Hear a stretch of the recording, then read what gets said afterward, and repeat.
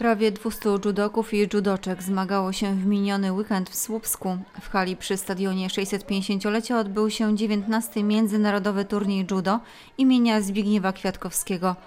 W słupskich zawodach wystartowali zawodnicy z trzech kategorii wiekowych, młodzików i dzieci. Judocy reprezentowali łącznie 21 klubów z terenu całego kraju oraz z Niemiec.